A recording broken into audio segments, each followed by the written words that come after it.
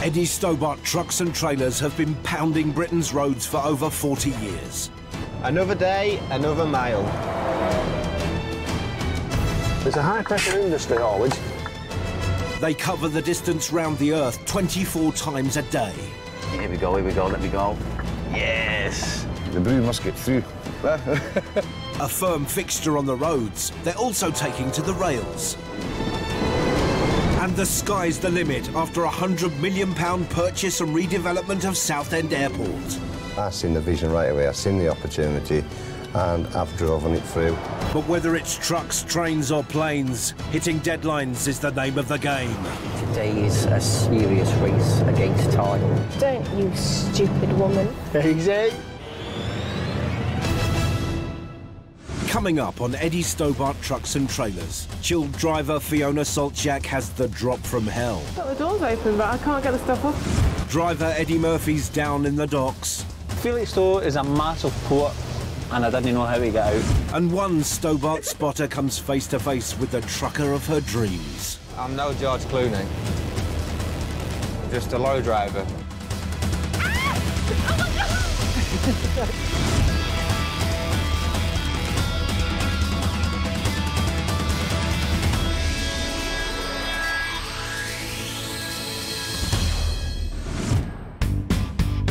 Eddie Stobart make a delivery every five seconds.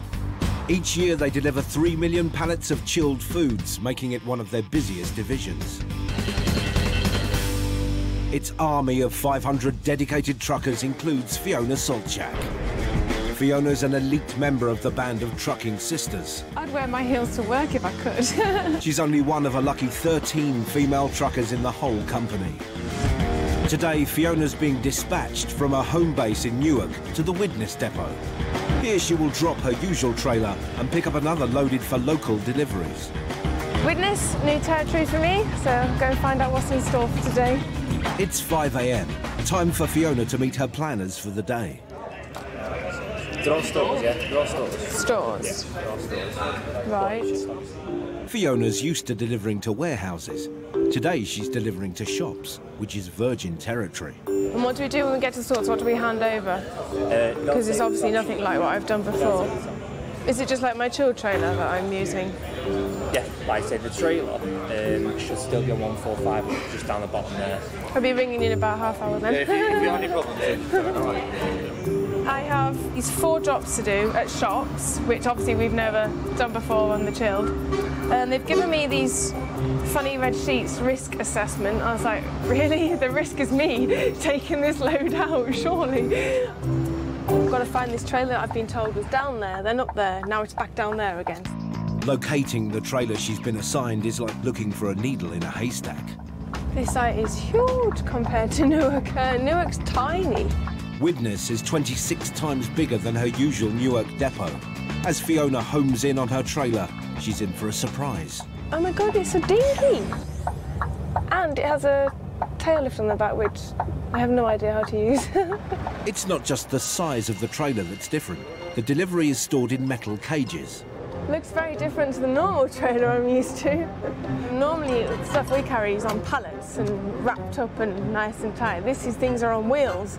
They're going to move. As she hooks up the trailer, Fiona spots some fan mail. The trailer loves me. That's nice. Hopefully, it'll look after us today. nice to know the trailer loves me. I love it back. Mutual Appreciation Society over, Fiona's got to hit the road. It's now 5.15 in the morning and Fiona has to be at her first drop by 6. We've got 45 minutes. we better get moving. Oh, and we'll have to keep an eye on time as well today, because obviously started quite early this morning. The clock's ticking. Fiona's only got eight hours of her shift left. But first, she's got to find a way out of the depot. Because we don't know where we're going, clearly. There's some gates over there. Obviously no one's answering at that gate, so I'm just going to go to another one. We'll try that way. We can't even get out of the damn depot. 20 minutes later and Fiona finally escapes.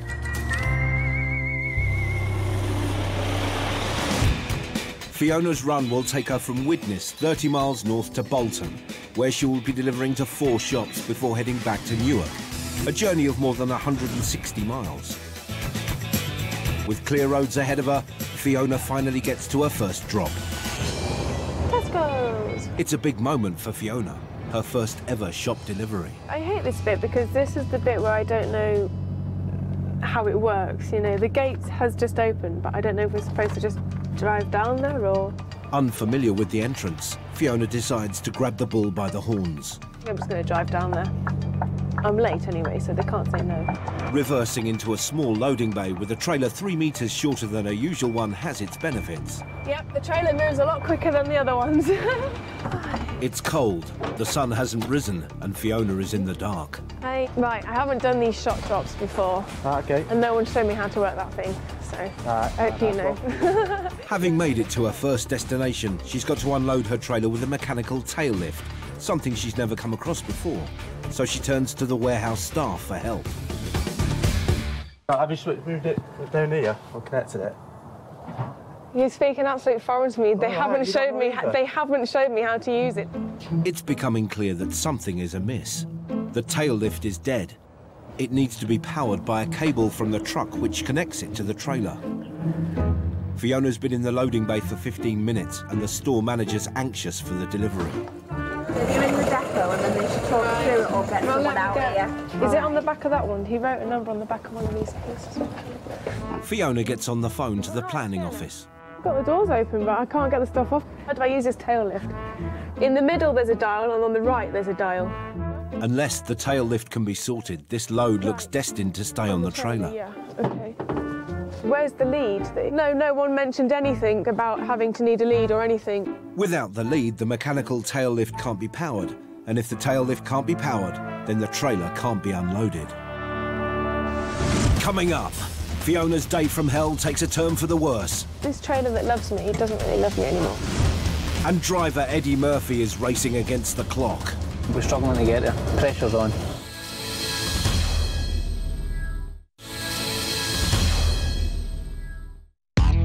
The familiar green and red livery of Eddie Stobart trucks have been a fixture on the road since the 1960s.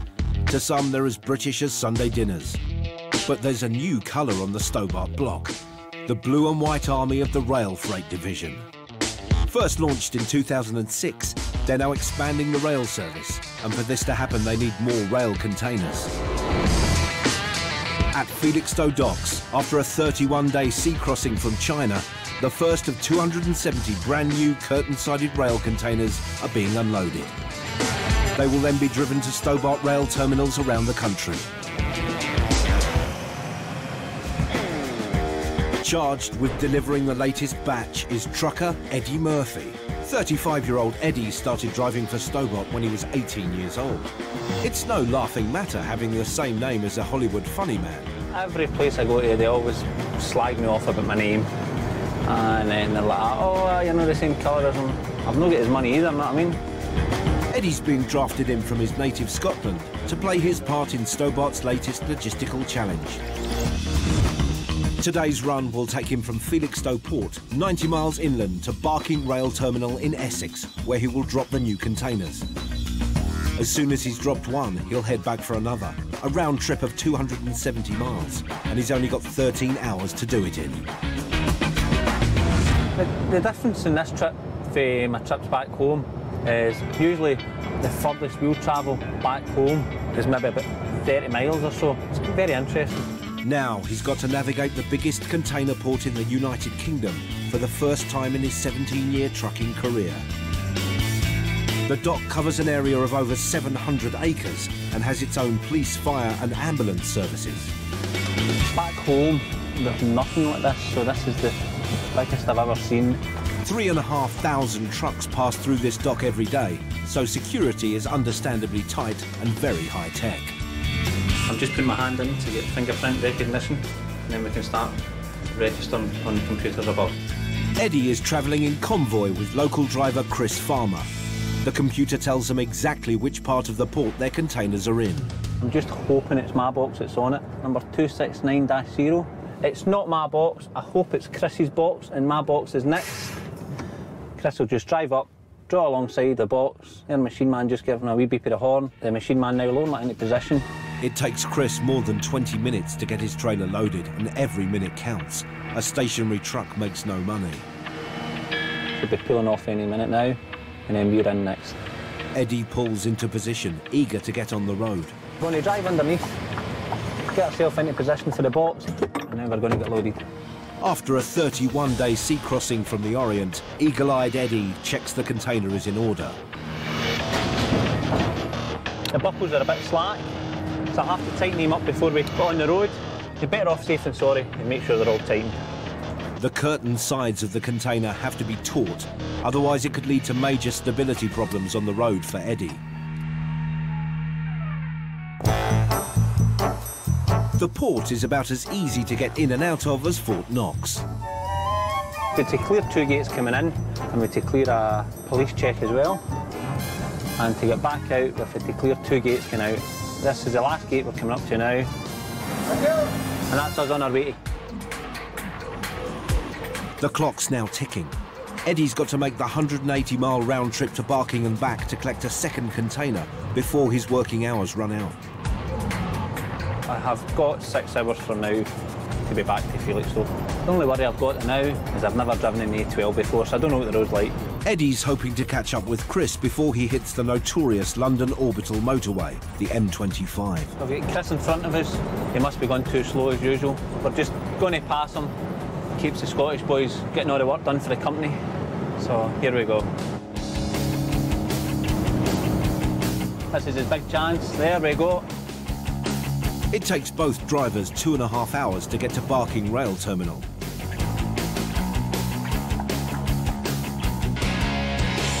So they need a quick turnaround. Hopefully it is only a 20 minute turnaround in here. If it's any longer than 20 minutes, we could struggle. Eddie's watching the clock. The sooner he's unloaded, the sooner he can get back to Felixstowe. We've been given the green light to go and get ours off. So just driving up now onto the pad, underneath the crane, and the crane will take your box off. Luckily for Eddie, the overhead crane is on standby. The spreader can extend from 20 to 45 feet and is placed over the container by an operator. He lines it up by eye using the yellow lines as a guide. When the container is hooked onto the spreader, a series of lights lets him know when it's safe to lift. Thankfully, it all goes without a hitch. It's a slick process, and five minutes later, Eddie's ready to hit the road. First one down, and then one more to go.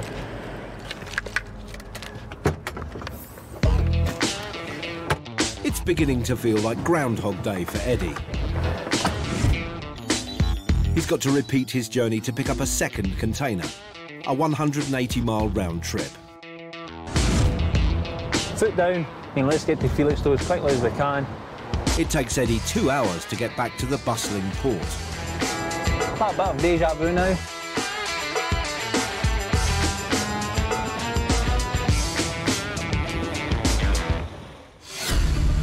Drivers are given a one hour window in which they can make their collections.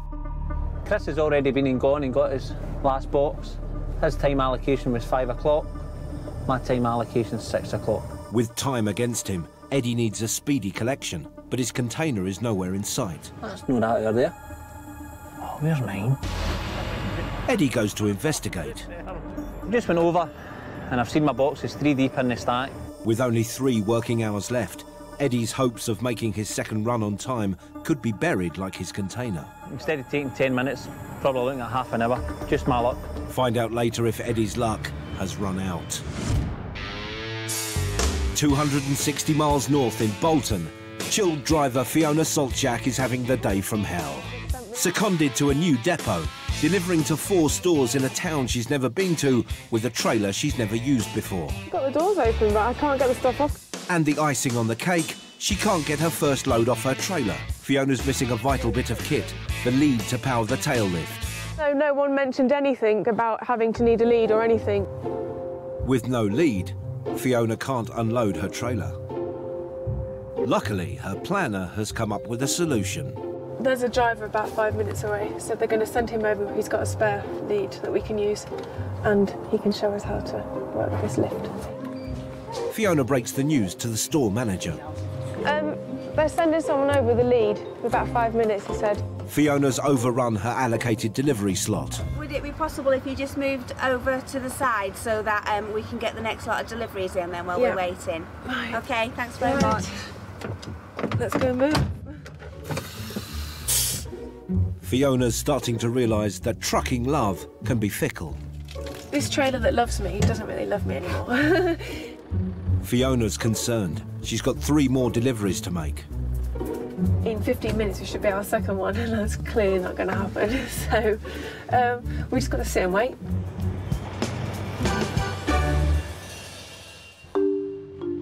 Her patience pays off. Luckily, our damsel in distress is rescued from her trucking nightmare by driver Paul Tipton. our knight in green armour has arrived Back in the bay, Fiona carefully manoeuvres her truck into position. basically they haven't even told me that I've got a tail lift on they've not showed me how to use it or anything The crucial cable to power the tail lift may have arrived, but it's not all good news. it's getting better and better by the minute the bloody cable doesn't reach from the unit to the trailer so I'm going to now try and put a slight bend in it The cable is too short, so Fiona has to park at an angle to reduce the distance between the truck and the trailer. Fit? Sorted. Brilliant. All done. Right.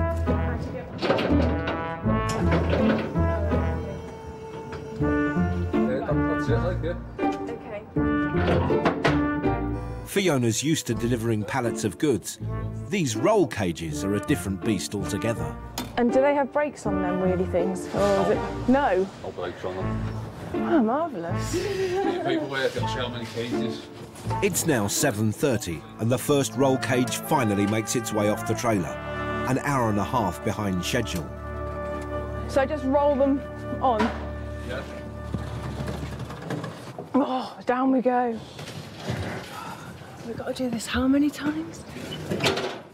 It's not even strapped together. I don't want to push it too hard in case it all goes ding. There's a whole bunch more to get off. Fiona's up against it. With only seven and a half hours of her shift left, she's got to squeeze in three more drops and a 130 mile drive back to her home depot in Newark. I think somebody somewhere's done some very wishful planning. You all right? Might get off now? Yes, thank you. Yeah, no worries. That's brilliant. See you later. Bye. This shorter 10 metre trailer is designed to be more manoeuvrable, perfect for city centre runs. It can be split into three compartments, each of which can be set to a different temperature, ranging from minus 10 to plus 20 degrees centigrade. It incorporates a mechanised tail lift, which can be powered from the truck's batteries by a detachable cable. The trailer costs nearly £57,000 and is one of only 12 in the fleet. Time's running out. Fiona's now been at her first drop for almost two hours.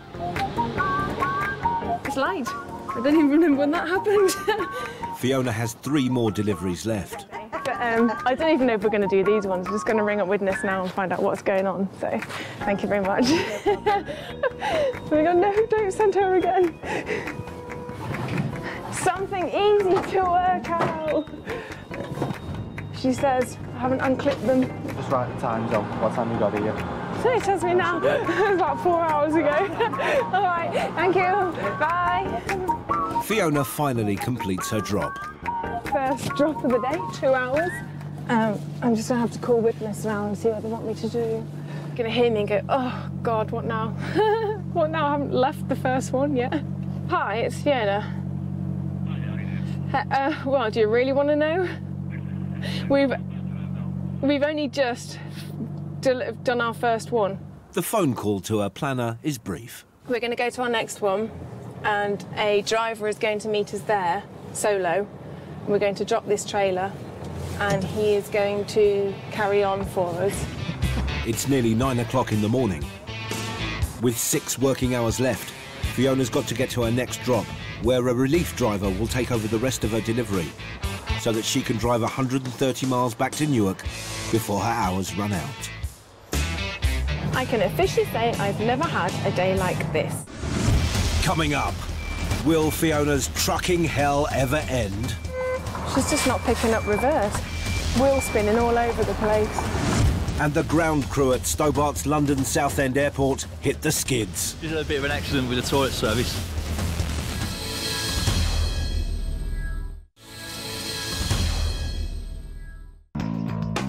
A very special delivery has arrived at Felixstowe for the Stobart Rail Division.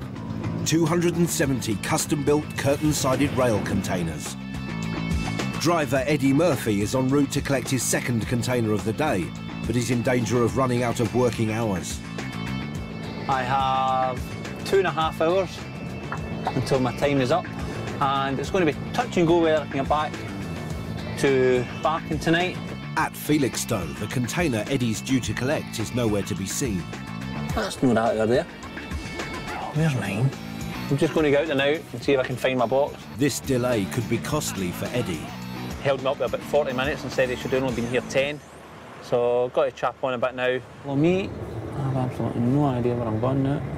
Let him go first. But just getting out of the port is proving a challenge. I've got two and a half hours to get there. And I don't know if I'm going to make it in time. I'll get a sack! Now, where's the last gate? The one more gate, wasn't there? I went the wrong way. That's the way in. Felixstowe is a massive port.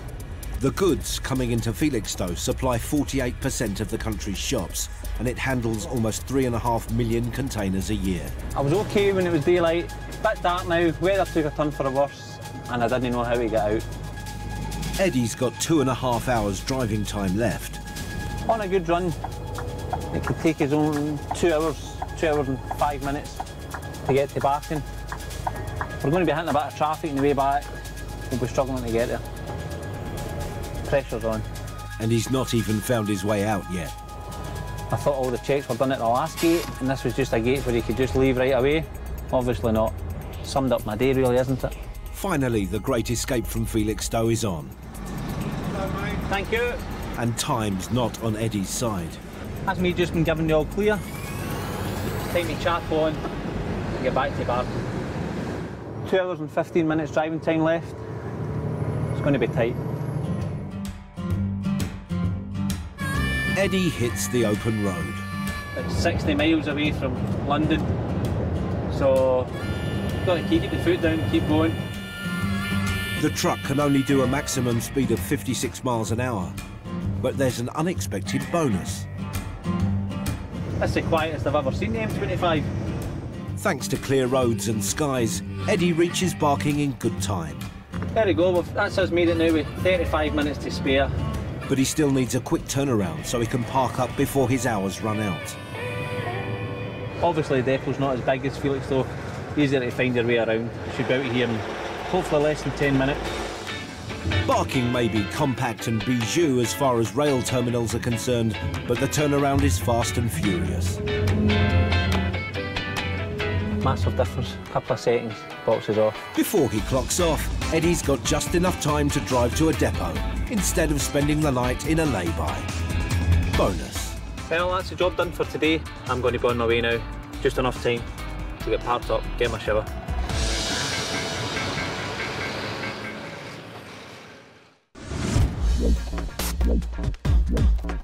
As if delivering goods by road and rail isn't enough, Stobart are spreading their wings and now transporting people. In 2008, they bought London Southend Airport. To date, they've splashed out nearly £100 million on the purchase and redevelopment. In a bid to bring it into the 21st century, they've extended runways, built a state-of-the-art air traffic control tower, a new train station, and they've nearly finished a passenger terminal, which is expected to handle a million passengers a year. We're experts at moving things from A to B. The reputation we have in haulage, it's just can put it over into airport. We are the full package, road, rail, sea and air. At the moment, Stobart Air employ 120 staff, and behind the scenes are the airport's 24 full-time firemen. Heading today's shift is crew manager Brett Ford. He's been at Southend Airport for six years. As well as firefighting, the crews also have other duties, and not all of them are glamorous. Five for the airman and Mike. Do the toilet service for us, please. Riding positions are as follows. Me, IC on one. Paul, you drive on one, please. Chris, monitor. Dave, with the fuel. Fireman Dave Brown doubles as the fuel supervisor. He's responsible for refuelling aircraft and checking the fuel to make sure it's safe to use. People's lives at risk, you can't take a chance. There are four fuel tanks at the airport. It's got 14,000 litres of fuel left in it, in this tank. Next, Dave performs his daily dip. At the moment, we've got to do the QC checks over here to make sure the fuel's up to standard. It's important to check for any impurities. Any water found in the fuel could freeze at altitude, blocking pipes, which could be disastrous. Do a water check on it. The fuel is drawn up from the tanks into a clear jar for a visual check. Make sure there's no water in there or any sediment built up at the bottom. And then we withdraw this, and if there's any water on it, it'll show up a colour. A 5 millilitre sample is tested in a water detector capsule. That's nice. If that shows any speck of water that go green, the darker it goes, obviously the more water's in it. So we know that sample's okay to Fuel check over, and it's not only Dave who's doubling up. On the runway, the multitasking firemen are taking up their positions for an inbound flight.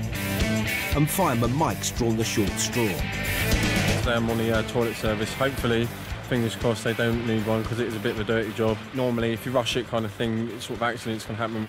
It has happened before where uh, the connections come off and it just uh, completely soaked me. Had to have about five showers afterwards. It's all eyes to the skies. And hope to see it just coming in now. 2-4 in. Right on time, actually. Following a textbook landing, the plane makes its way to the ground staff to be serviced. The pressure's on the firemen. They've got 20 minutes to get the flight ready to go out again. We've got to try and get this aircraft unloaded and loaded as quickly as possible. As soon as they shut down the engines, then everybody can pounce on the aircraft and try and do the quick and best turnaround uh, they can do. Brett heads to the hold to unload the incoming passengers' luggage while the plane is refueled. We'll check out fuel load with skipper in a minute. They're going to connect, uh, refuel. Then we've got the baggage carts just coming into place to unload the bags. With the bags off, the plane is reloaded with fuel and baggage. But there's just one more thing left to do. Yeah, got a toilet service. Uh, we've got Mike, you see just over there. He'll be coming over in a minute. It's a dirty job, but... Someone's got to do it though, haven't they? Let's fit that one like so. Make sure that is on, otherwise this will come off and then a load of uh, poo and wee will come off.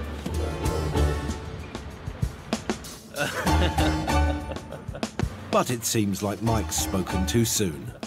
Just had a bit of an accident with the toilet service. Uh, unfortunately, yeah, it uh, fell off the aircraft, making a bit of a mess on the apron, so we need to uh, clear that up as soon as possible.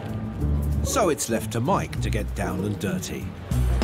Bit of uh, blue poo and a bit of toilet paper. But I don't think my boss is going to be too happy. With time tight, this is the last thing they needed. Just have to clean it up. There's the cavalry coming now with the old bucket up there. With the mopping up operation a success, the passengers board without a whiff of what's gone on. We're struggling for time at the minute. We've got four minutes to get it out uh, as what we'd call on time. We're just boarding at the moment. All the bags are now now just finishing being loaded. Um, so it's possible.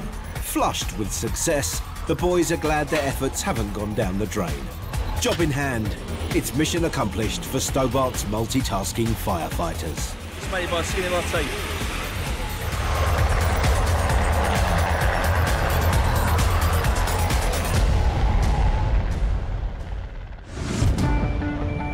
250 miles north in Bolton, chilled driver Fiona Soltysiak is having the shift from hell. She's only completed one of her four scheduled deliveries. With time running out, her planners have arranged a relief driver to take over the rest of her drop. It's nine minutes to her location, and that's not allowing for morning rush hour and rogue pedestrians. Don't you stupid woman. Look at this, she's crossing the road with a bloody kid. Just randomly crossing wherever she pleases. And they wonder why they get hit. I'm about to scare the crap out of this car if he doesn't move. Getting to the drop is one thing. Getting to the loading bay is proving trickier. We're pretty much going in the way we should have come out, I think. Fiona's planner has provided detailed instructions as to how to enter the loading bay as requested by the stores. According to this, we now need to go and sit up here. But things aren't going according to plan, even though she's guided in by a warehouseman.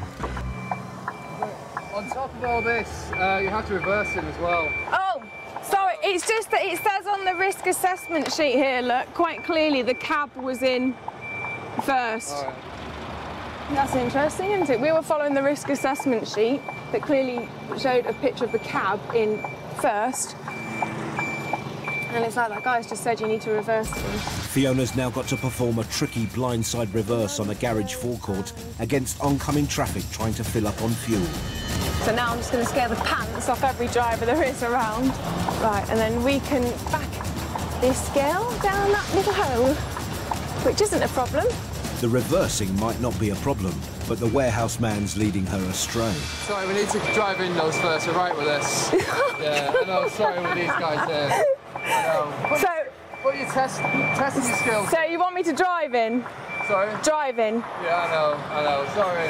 I'll make sure you're clear on the back. Fiona has to manoeuvre around the garage forecourt again, but this time the queuing traffic's not as forgiving.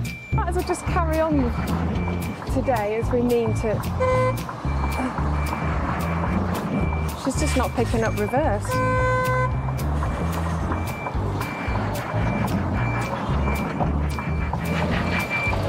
Wheel spinning all over the place. The wheels on Fiona's cab can't get any traction on the garage forecourt, but they don't call her a chilled driver for nothing. Never a dull day. we should do it more often, look, we get all the excitement. okay. It's nine o'clock and Fiona's finally managed to get to her second drop two hours late. Hello, welcome to the most terrible day I'm having. But just when Fiona thought she was home and dry, oh no, I need to go move the lorry, don't I? I need to actually move my lorry and put it at an angle, otherwise the lead doesn't reach. Oh God! All right. So, yeah, trust me, this is only the second drop and I've been up since midnight. Fiona quickly repositions her cab closer to her trailer. right, hopefully that's done the trick. And hey presto, Woo. Now I know what I'm blooming doing. the second delivery is finally being unloaded. But how late is late? late, late, late, late, late. With no hope of completing the last two drops, another driver has been dispatched to complete Fiona's deliveries. Surely nothing else could go wrong. Maybe the truck will blow up. We'll lose a tyre or two. But Fiona's finally started to lose it. Oh, it's going its own direction now. God, these things, you need a license for them. Oh, coming right at you. Hey, we're nearly there. Don't panic. Another delivery completed and only three hours late. That's definitely it. That ain't going anywhere. Right, hey, he's here. Driver Jimmy Callahan arrives to relieve Fiona of her load. He'll be taking her trailer and finishing her last two drops. And I gotta get back to Newark as well. Pick up my trailer from Widnes. What time did you start? Midnight. Fiona hands over the troublesome trailer to her colleague. I was going to say something about women drivers, but it's not worth the hassle, is it? Not worth the hassle. Scratch his eyes out. Can you close the door? All that's left is for Fiona to unhook the trailer and head off home. Do you want me to back it out for you? I suggest you get out the bloody way now. It's now up to Jimmy to fix it. I'll just finish off the owner's run. You know what I mean? As if I haven't got better things to do than to do air run as well as my own. But Jimmy's secretly proud to help out a damsel in distress. I'm Fiona's knight in green shining armour. Fiona heads for home in a trailerless cab with her head still held high, relieved that the nightmare shift is finally over. There's going to be no walk of shame. I won't have too many of these days, I hope. Coming up, One Stobart spotter comes face to face with the trucker of her dreams. I'm no George Clooney. I'm just a low driver.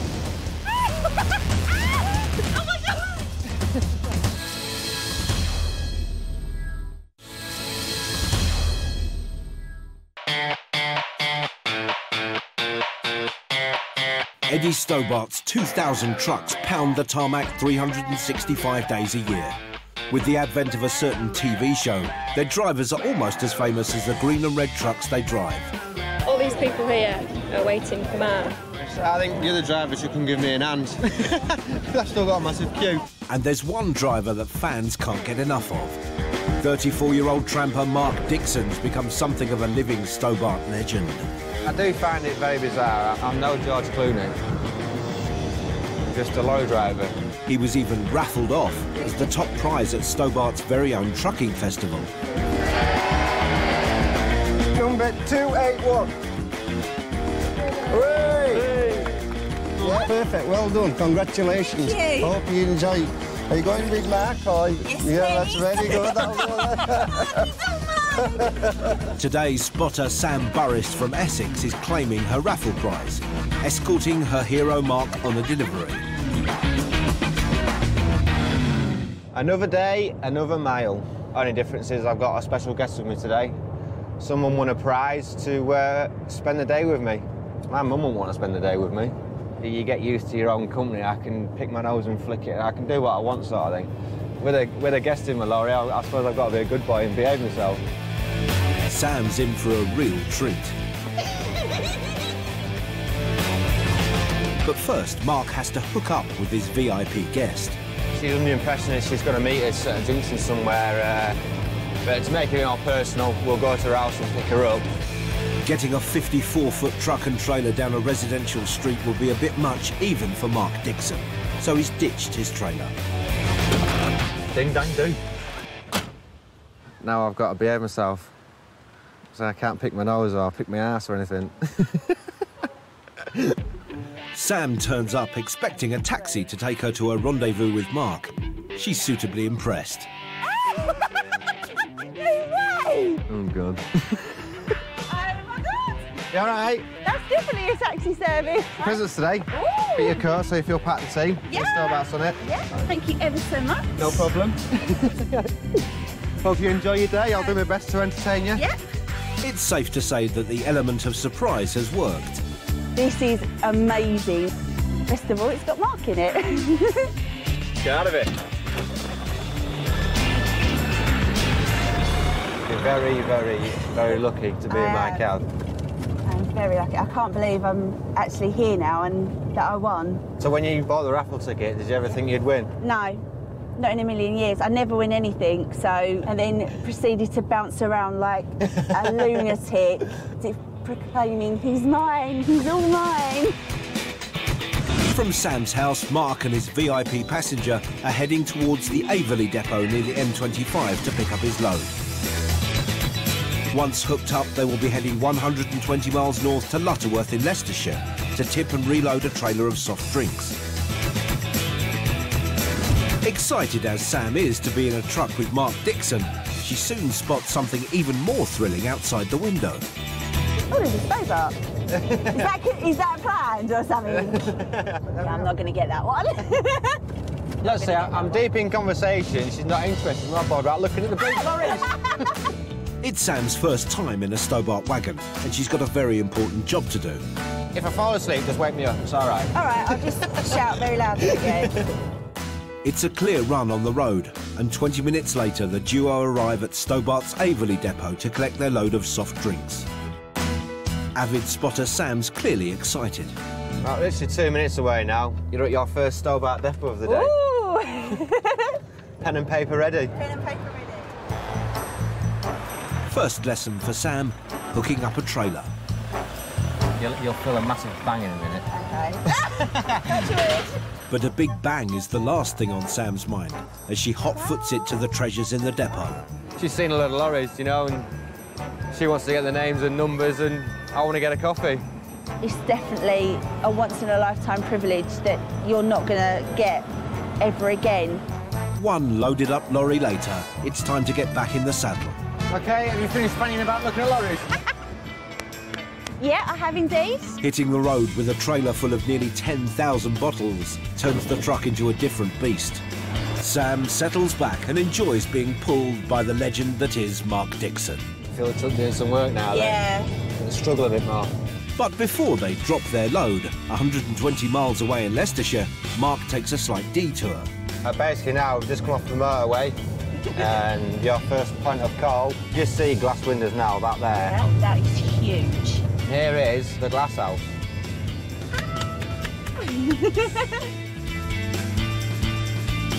Based in Crick in the Midlands, the Glass House is the near mythical Stobart HQ, which houses a small truck museum. And this is a glass house. Wow. Go from old to new. I couldn't imagine doing my job in one of them things. God, no. No, no mod cons, That's no how they, nothing. yeah, that's how they first started. Sam's smitten with the 1975 Atkinson Borderer, and she's very privileged indeed to find herself behind the wheel. I must admit, I've never got inside it. 250 quid, here we go. That's it. Oh, oh God. That's what you call a proper old lorry. Taco. That's how it all started. And just as Sam thinks life can't get any better, along comes another Stobart legend, boss William Stobart. William Stobart. Sam, how Sam, I believe you've been with him all day. I have, yes. You must be mad. Before they hit the road, there's just time for a quick photo op. Thank you you so much, William. You're welcome, Sam. Hope, hope you have a good day. I will do. All right. See you then. Cheers, William. There you go. I wasn't expecting that. No need for that. I am very much in trucking heaven. It's brilliant. It's not every day you get to meet the head of the company and shake hands with us. Next stop, Mark's home depot Crick for a quick refuel. This is where all my work comes out of, where I get told what to do. And as you can see, there's a lot of lorries planned out of here. But before she can get an eyeful of those big diesel bad boys, Mark ropes her into getting tanked up. You get on like after about three seconds. I do. Fueled up, Sam's soon up to her old tricks. It's way better than sex because no one else in the spotters world can do this. So it's kind of like. Ha, ha, ha, ha, ha, ha. Back on the road on their 120 mile journey to drop their load in Leicestershire, Sam pops the big one. Do you think you'll get married? Yeah. Mark Dixon get married. Oh, is that a no-no? You never know, one day. So I'll definitely marry you. I've got no problem with that. For once, Mark is gobsmacked. Tractor out there, look. As the happy couple's day of bliss draws to a close with a quick tip and reload,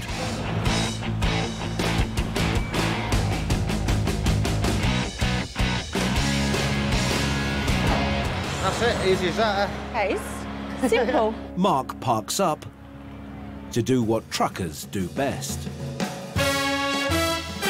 First way.